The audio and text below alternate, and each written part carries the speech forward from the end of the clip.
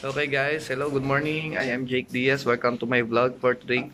First time mo lang na, na nakakapanood dito sa video ko, please subscribe the button below and then click mo na rin yung bell button. Si ano, Mare Alice. Kakabitan namin ngayon ng CCTV. Tara, pasok tayo. Yo, yo, yo! Nandun yung monitor natin. Ito yung lalagyan natin. Ang vision niya, ito. Tsaka yung isa, dito banda. And then the other cameras natin. Sa back door, doon nakalagay. So check natin kung ilang ilang feet.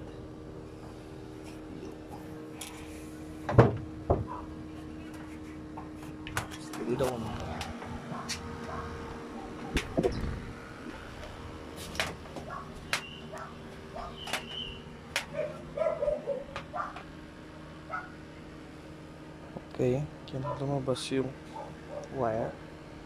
So, one,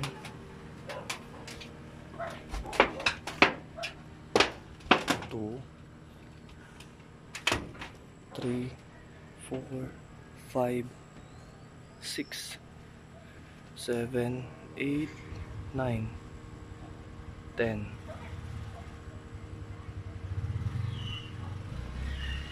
Fifteen, fifteen. Isang 15, isang 20. 15, 15, 20. 15, 20.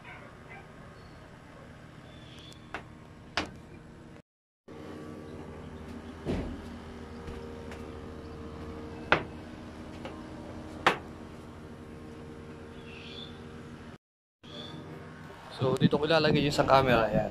Yan, yan banda. Yan banda. Dalawang camera. Tsaka isa dun sa likod. Yun, no? Ito. Ayan.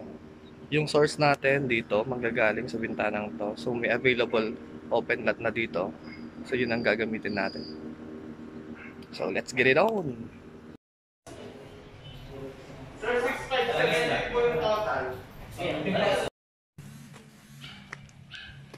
Ayan.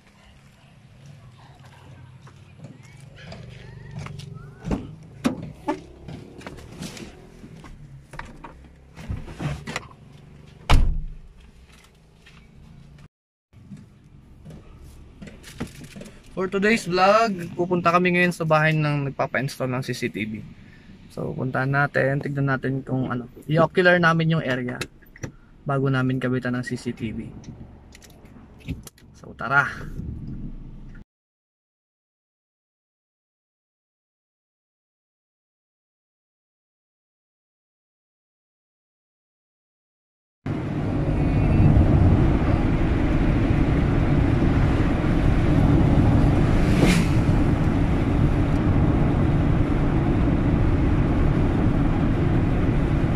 Magandang mag... Ah, bumago. Tabi kayo, tabi.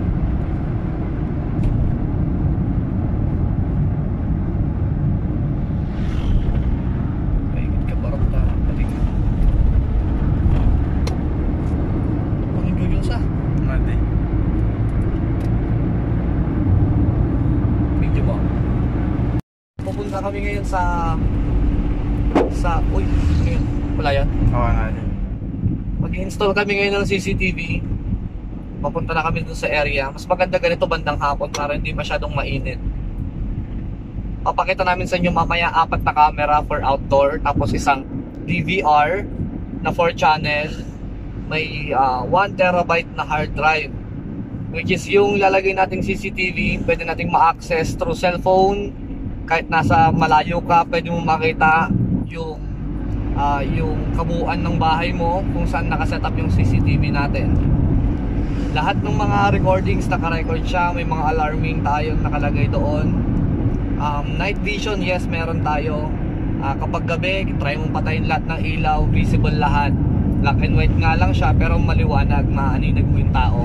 Pati plate number ng sasakyan, take note, makukuha yan. So nandito tayo, pupunta tayo sa Santa Ignacia. Tingnan natin kung nilalagay natin yun ng kung ilang oras lang kasama ko ngayon si Beats. Okay, sige Yun, we are using Hikvision. Meron tayong dawang camera. We have 15 meters na tatlo tsaka isang 20 meters. Kukonek natin siya dito sa tubing to. Papunta dun sa labas. Check natin mamaya.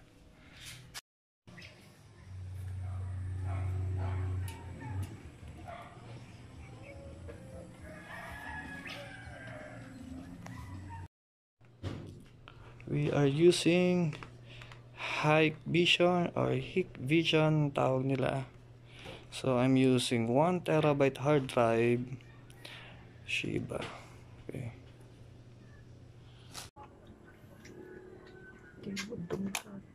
Nabayag kayo saan? Bigla? Bigla pa lang? Kabulang pa lang. Bayaga na kakadwa ko ang Trabaho. rider. Rider mo na. Kasi nangyari ay Ibig ko sabihin ka, agra-ride mo na talaga suna? Juan, sa Okay, okay, ah. grupo na eh. Okay ah. Isa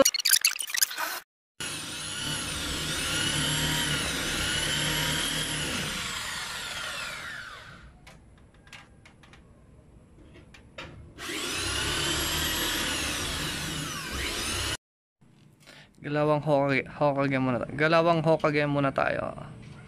Yun. Legit ka kung alam mo to. Ayun. DIY lang tayo guys. Kasi wala tayong mabiling 4-way. So itong gagawin natin with same polarity. Whoop.